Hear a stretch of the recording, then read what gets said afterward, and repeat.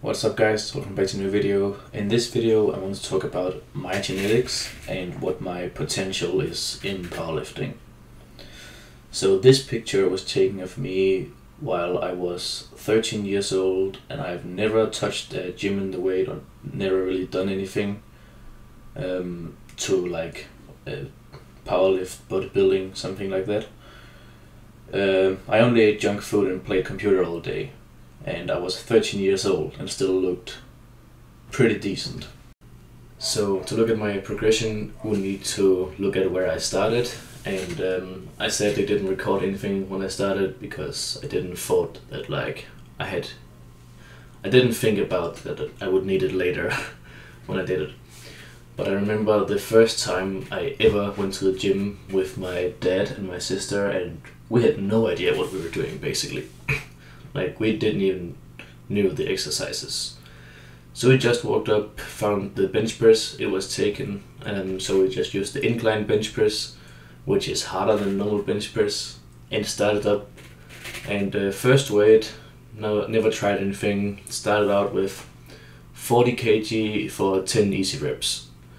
And at this time I was 14 years old and had never touched a weight, and I basically just I didn't even do any sports. I just ate junk food and played computer all day.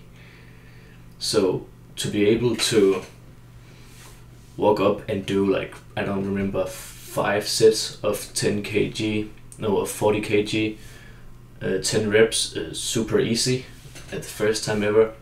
You can't do that with like average genetics. So every day I basically went to the gym, did some bench press and got home again, did some machines maybe. I didn't know what else to do than bench press, so that's basically all I did every single day. so yeah, I just kept progressing, and uh, I think after a bit of time, I hit 80 kg one rep max, and I didn't really try anymore until like a few weeks later. I tried 90 kg, and then a week later I tried 95 kg, and a week later I tried 100 kg, and I just kept going like that. I also started learning about other lifts and I started to know about powerlifting and Larry Wheels and Arnold Schwarzenegger and all those guys. So I started uh, wondering about the squats and deadlift and also want to try that. Um, so I basically tried the deadlift a couple of months ago. Uh, I had already tried that once, but I didn't really understand it and I like had the craziest catback you've ever seen. But I just like first time ever I pulled 100 kg pretty easy and just like felt this was wrong. I didn't do this right. So I just stopped and decided to only do it when I knew how to do it. So I think this was my first ever video with uh, the 140 kg deadlift. Maybe I did one deadlift video before that.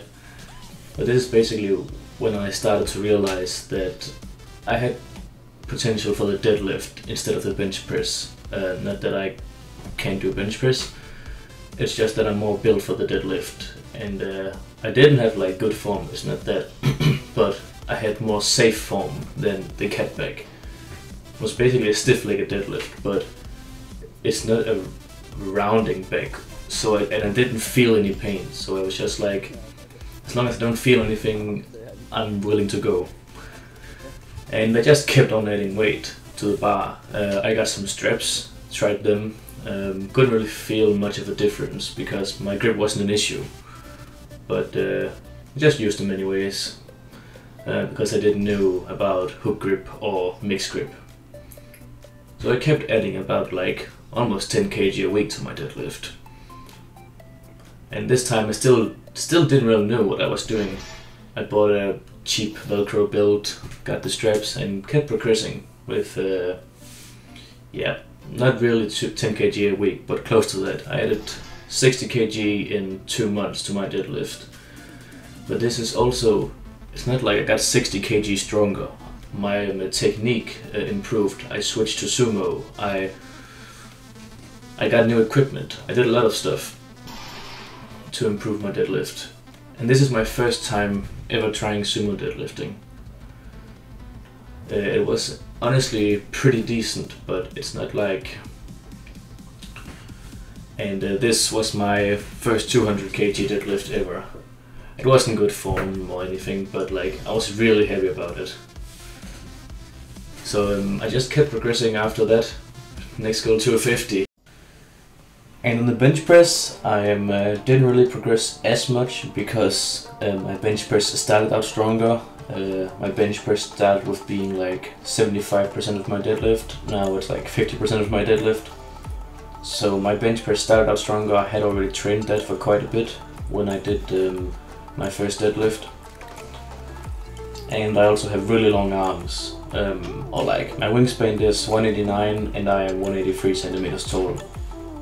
So it's still pretty, I think the average is just the same wingspan as height. So I have pretty long arms compared to that. Um, but my bench press still progressed um, not nearly as much as my deadlift, but it kept going with like 2.5 kg at the same time as my deadlift did 10 kg, 5 kg. Um, kept going, didn't really gain much weight, um, which would have made it easier, but I gained still a bit of weight. I gained like 5 kg. Here you can see that I gained quite a bit of weight compared to my uh, 90 kg bench press. This was my first um, like better deadlift, oh bench press. And uh, after this set, I just um, uh, learned about pause deadlift and started to do that instead of touch and go all the time. It's not really touch and go; it's more like bounce reps. So here I just kept up uh, my normal progression. Um, this is uh, a workup to my 230 kg deadlift. But this is not the same setup as my 200 kg deadlift that I did back then. It's a different bar. it's not a deadlift bar, but uh, it's a little bit thinner, which makes it a bit easier in the start and uh, to hold grip on it is also a bit easier. Um, and I have the blocks, which makes it a little bit easier because these blocks are only like one centimeter.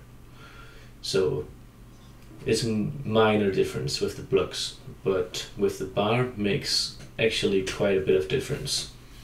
Right now my max is 225 with the competition standard and 240 with this standard.